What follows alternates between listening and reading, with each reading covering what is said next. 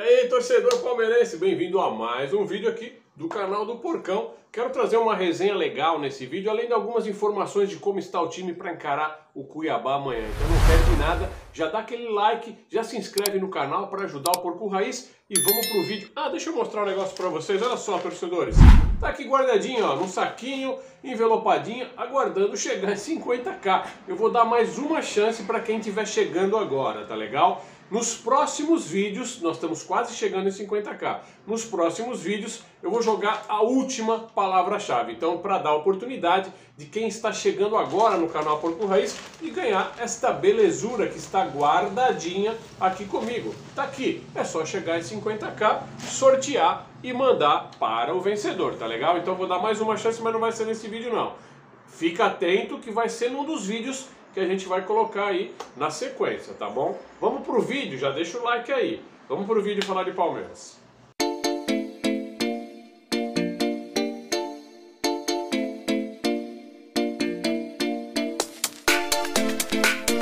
Torcedores, e o time do Palmeiras fez hoje na academia de futebol a sua preparação para o jogo de amanhã contra o Cuiabá, tá legal? O time já está preparadíssimo, está pronto. Aqueles treinos bem legais, divertidos. O pessoal, inclusive, aí ainda tirando sarro, imitando o Rony na comemoração que ele faz, que ele dá aquela pirueta e faz o né, famoso aqui. E a galera continua tirando barato do Rony, porque o Rony é um cara, é um boa praça, né? Ele gosta e tem um bom astral, então ele gosta dessa gozação. Inclusive se veste com umas grifes, com umas roupas aí, que a galera bagunça muito com ele. Mas o importante é a gente saber que o time está 100% preparado para enfrentar o Cuiabá amanhã, domingão. E a gente vai forte trazer mais uma vitória aí, né? Para ver se a gente chega aos 80 pontos e ultrapassa os 80 pontos. Campeão já somos, tá legal? Queria falar também no próximo tópico sobre o que falaram do Marcos Rocha, a Marcos Rocha na seleção. E sabemos que não jogam o Zé Rafael, suspenso, e o Gustavo Scarpa, então provavelmente vamos de Gabriel Menino no lugar do trem e vamos de Tabata no lugar do Scarpa. Será que é um prenúncio do que poderá ser o Palmeiras em 2023? Deixa nos comentários. Vamos falar agora do Marcos Rocha na seleção. Vamos embora. Torcedores, quem falou é, do Marcos Rocha na seleção brasileira foi o Casagrande. Casagrande saiu com essa aí. Eu resolvi trazer para vocês para a gente ficar mais leve nesta tarde de sabadão. Um solzinho bom aqui na minha cidade. Como é que tá na sua cidade? Me conta aí nos comentários. E eu queria saber de vocês até o que vocês acham dessa possibilidade do Marcos Rocha ir para, para a seleção brasileira disputar a Copa do Mundo.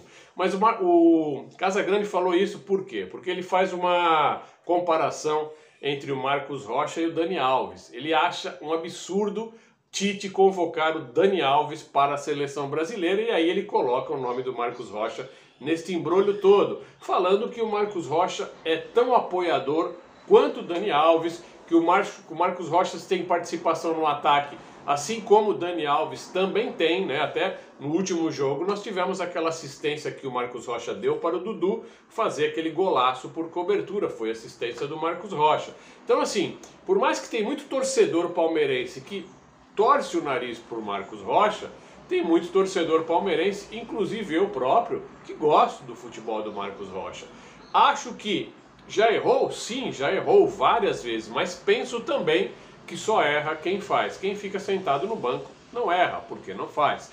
E eu gosto do Marcos Rocha, acho que é um lateral experiente, um lateral apoiador, tem uma visão de jogo fantástica e às vezes atrás dá um vacilo dois porque dá uma dormida. Mas fora isso, é um excelente jogador. Não é, acredito eu, e tem, acredito não, tenho plena convicção, não é jogador para a seleção, tem outras peças melhores. Mas dentro desta comparação, de momento, Dani Alves e Marcos Rocha, eu ainda ficaria com Marcos Rocha. Claro que Dani Alves é um grande, né, é, como, como diremos, um cara que tem uma quantidade de títulos absurda, são 42 títulos que esse cara tem na, na carreira, ele tem mais títulos que o Messi. E o Marcos Rocha tem os seus time dos nove títulos, desses nove, seis no Palmeiras. Né? Não podemos descartar também a grandeza do Marcos Rocha, mas eu queria saber de você, torcedor, o que, que você acha desse comparativo? Dani Alves, 39 anos, Marcos Rocha, 33 anos. Na seleção brasileira. Quem que você colocaria? Eu queria muito saber a sua opinião e por isso que eu trouxe esse vídeo, tá legal? Então, acho que a gente já vai ficando por aqui e que amanhã todos nós tenhamos um excelente jogo para a gente fechar 80 pontos no Brasileirão contra o Cuiabá. Vou ficando nessa, avante palestra!